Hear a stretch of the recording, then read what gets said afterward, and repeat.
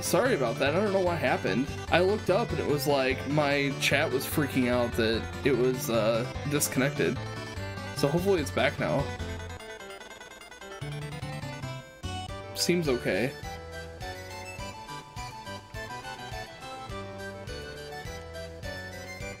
But yeah, small businesses. Well, businesses in, in general.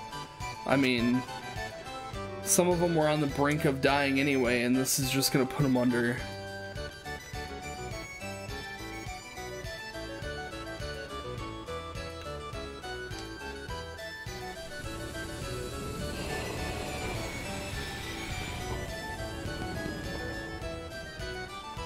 People are still going to GameStop. Phew! Well, we were worried about that. Actually, one of the games that we got, it wasn't at GameStop, but I wanted to talk about it. One of the games that we got uh, yesterday? Yeah. Um, it was a. It's a Harry Potter book, but it's on the PS3, and it comes with this like hardcover book, and each page has like um AR codes on it so it like interacts with like the I, I, I don't even know. I don't know. I don't know how it works but it looks interesting. Like it, you're you're supposed to use it with like the move setup so I would assume that it interacts with your controller in some way and like the camera. So I don't know. It looks pretty cool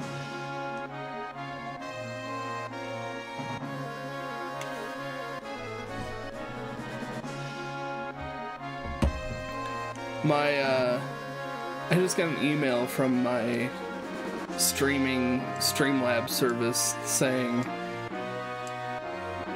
like a report for how my stream did as if I closed it. Like uh no I'm, I'm still going here.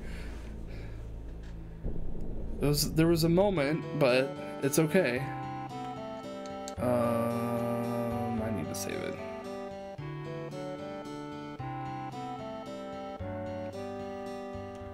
I think I'm gonna give the ladybird some um some greens and see if that helps.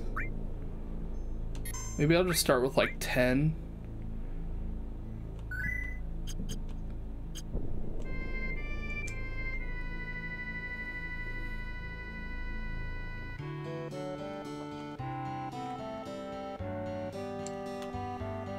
Since I have a longer drive to work, yeah, that's what I name my. So I have Moopy and Lady. Um, since I have a longer drive to work, I've been listening to all of the Harry Potter books. So it was kind of neat to see this game book. Just, you know, I don't know. I, I recognize the book from the book. it's it's one of the books that Harry Potter picks up for his schooling or whatever. Yeah, they're all read by Jim Dale. Yeah, absolutely. He's the best.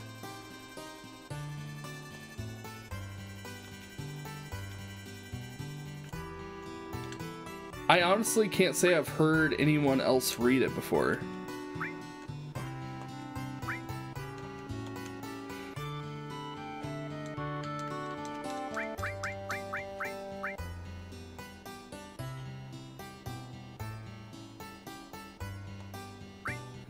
Alright, let's just work. Just work. That's all I want. So it should just happen